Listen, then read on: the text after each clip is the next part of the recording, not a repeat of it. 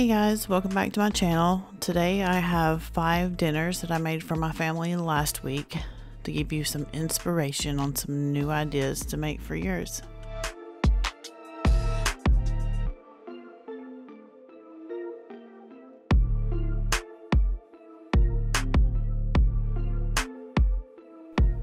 On Monday, I made a sweet potato and ground turkey skillet.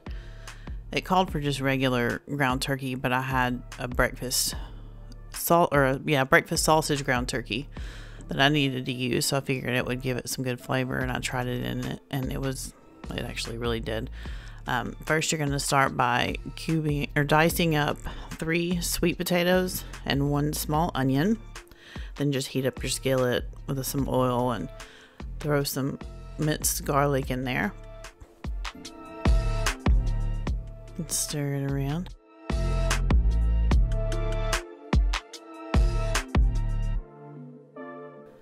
And once you have your meat broken up, you're going to put in a mixture of cumin, chili powder, salt, and pepper, which, by the way, I'll have all ingredients and everything listed below to make that a lot easier. But just stir it up. And then you're going to toss in your onions.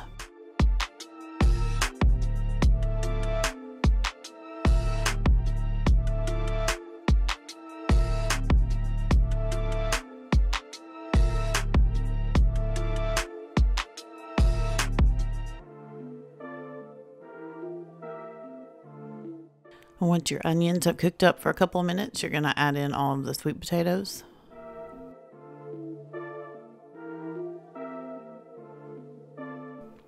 Then you're going to add in a half a cup of water, which was mainly to make sure the turkey didn't dry out in this dish, but with it being the turkey sausage and all the fat, I don't think it would have anyway. But it's it was still a good idea. Then you're going to just put the lid on it and cook it for about 15 minutes. Just in about 15 minutes, just check the potatoes, make sure they're ready. I had mine on, I believe, about 250.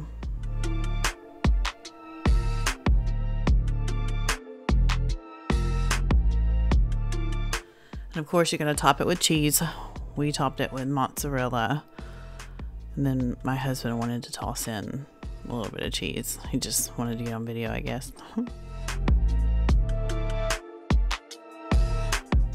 then you're going to just cover it until the cheese is melted and add fresh cilantro if you have it or dried if you don't, like I didn't.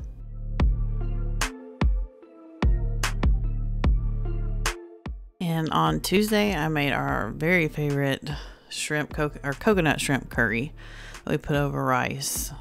I could eat this all the time. It's so good. You're to start by chopping up an onion, just a small onion.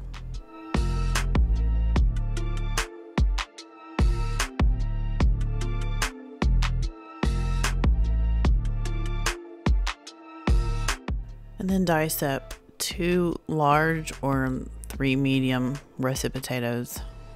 I mean, you could add another one if you want, but this seems to be the perfect amount in there.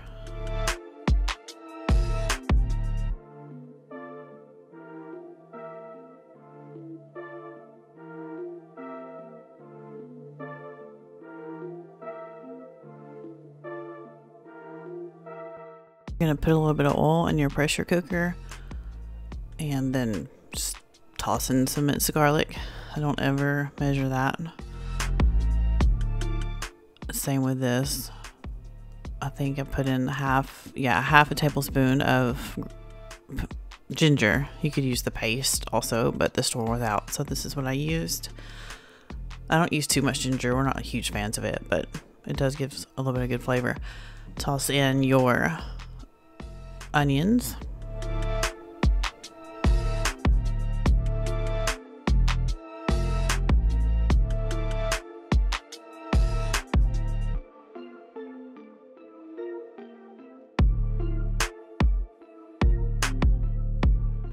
And then you're going to put in a whole can of coconut milk and then fill that can up with water and pour that in there as well.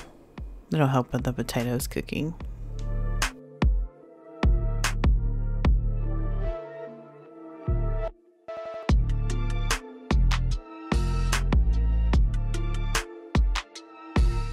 And you're going to toss in a bag of frozen shrimp two tablespoons of curry powder, one tablespoon of turmeric, and one teaspoon, a little bit less of cayenne pepper, depending on your heat preference. This was not hot at all. I actually could have probably used a little bit more, so I'd go towards more, uh, or more towards a teaspoon. Now you put in your potatoes and a diced tomato that I forgot to record, but it was just a Roma tomato, just one, a small stir it up and then you're going to put in just salt and pepper to preference.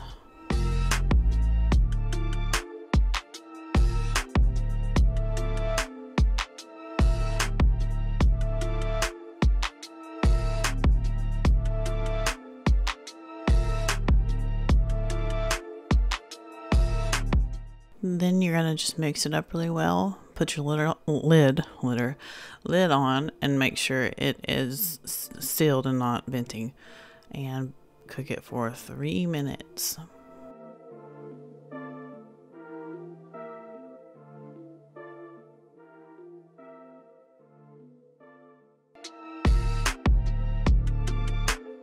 And once it is finished, you're gonna turn on the saute function and get it boiling a little bit and pour in uh, a cornstarch slurry, which is just equal parts cornstarch mixed with cold water. Has to be cold or it won't work right. And just mix until it thickens up really nicely.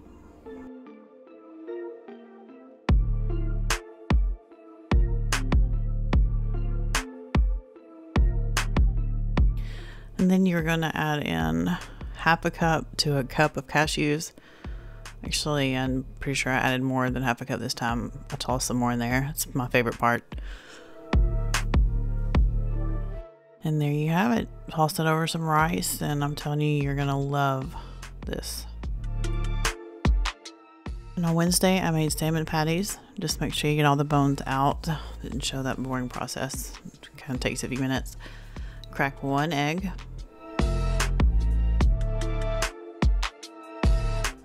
And then you are going to add a tablespoon of mayonnaise, a little less than a tablespoon of Dijon mustard, about a teaspoon of garlic powder, maybe about a tablespoon of minced garlic, or I'm sorry, minced onion, and then a tablespoon of lemon juice.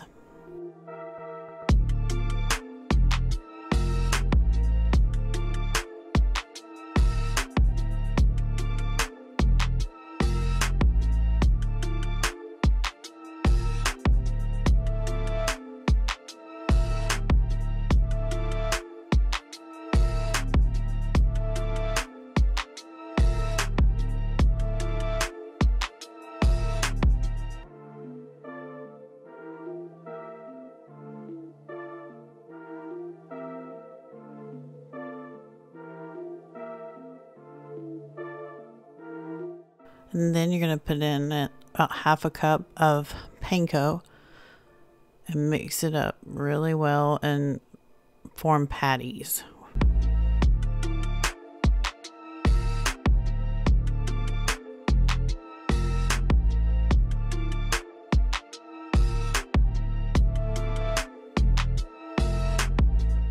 Oh, and I tossed in some parsley also, and then some salt and pepper.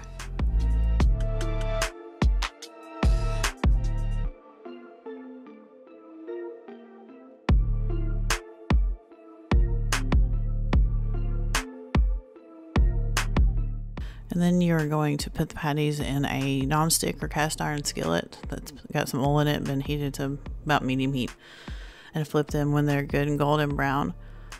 Preferably a little bit more golden than these, but I mean, they're still good. I'd say about four, four minutes each side. Kind of like the top ones up there. Then I served this with green beans and a side of ketchup. My whole family loved it. And on Thursday, I made jumbo stuffed shells with meat sauce for my son's birthday. He loves pasta.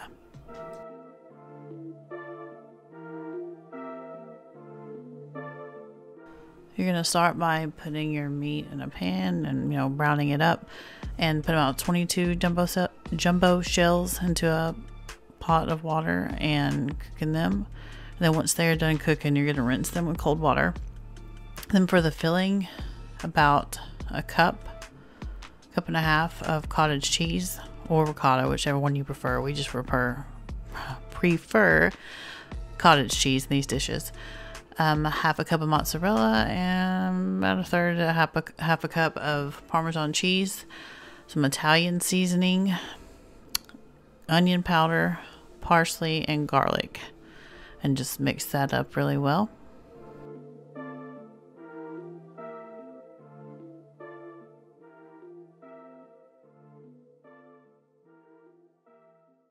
Once your meat is done, drain it and put whatever jar sauce you want.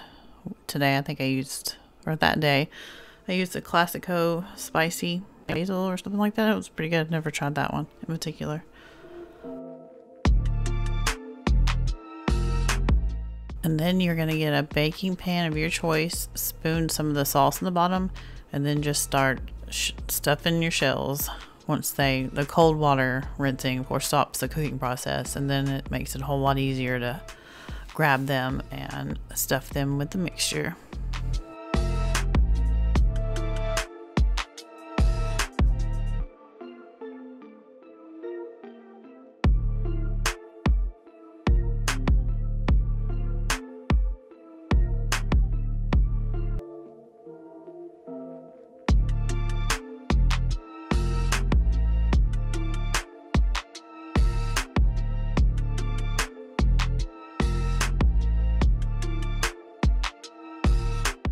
And then you are going to spoon the rest of the meat sauce over the noodles, um, or shells, stuffed shells, whatever.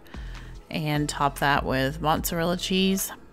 Loosely put some aluminum foil over the top so the cheese doesn't stick to it unless you have it in a deeper dish than I did. And then cook it at 400 for 20 minutes. And while those were cooking, I went ahead and started icing some cupcakes that I had cooling for my son's second birthday. Which still so hard to believe that he is already two.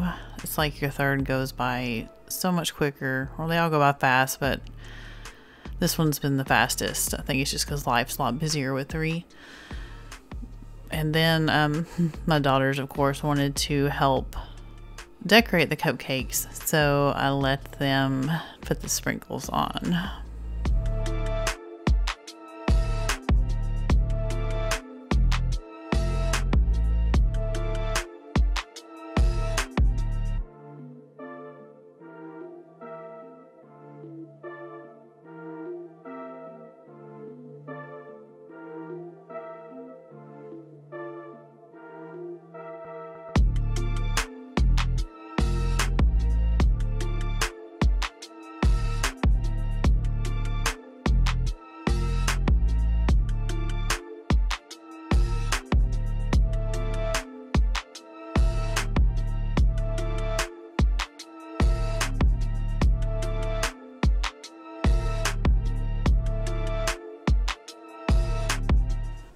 And on Friday, I made a sausage and potato breakfast skillet.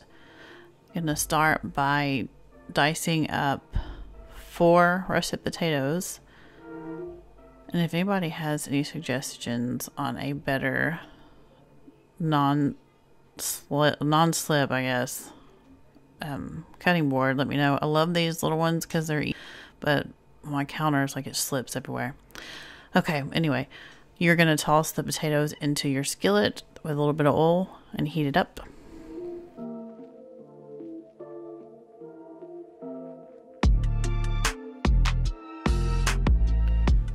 And I have diced up an onion and tossed that in there as well. Probably about half a small onion. Next time I'd use a whole one because with it cooking in the skillet like this and caramelizing it, they were so good. And then you're going to top it with whatever salt and pepper you want. I just chose, I like the Himalayan pink salt. Don't use it in every dish, or at least not cooking, usually in things like this. And then the black peppercorn, just, I put a lot. I feel like potatoes usually need a lot of seasoning, so you do it to your preference, but that was perfect. And then you're going to slice up uh, any kind of beef link sausage. This one was just beef, I believe. Um, and toss it in, stir it up.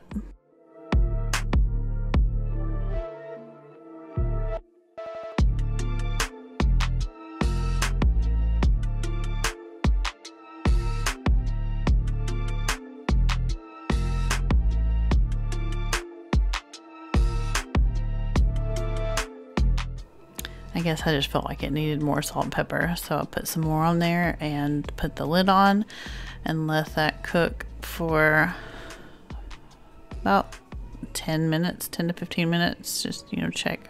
And everybody's different, depends on what heat setting you have it on, but just check with a fork and see if they're done. And then you're gonna make like kind of little, I don't know what you call it, I can think of it right now, but you put in eggs just crack four eggs.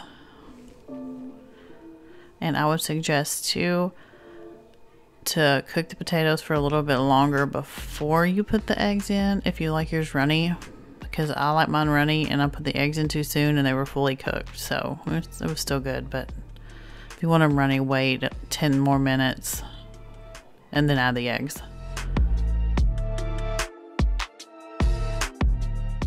I put the lid on and cooked it for an additional 15 minutes, so that's about 25 minutes total.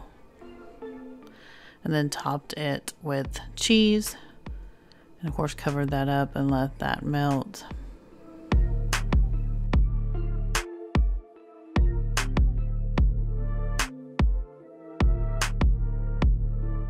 And there you have it. That was really good. Uh, oh yeah, I forgot. I topped it with some Cajun seasoning as well kind of give it that vibe and add a little bit of spice to it. And I thought it was really good. Whole family loved it. When it was gone, my husband wished there was more, so I'll be adding this one into our regular meals. Thank y'all so much for watching, and don't forget to subscribe and like if you enjoyed what you saw. And I will be uploading weekly meals like this. Thank you.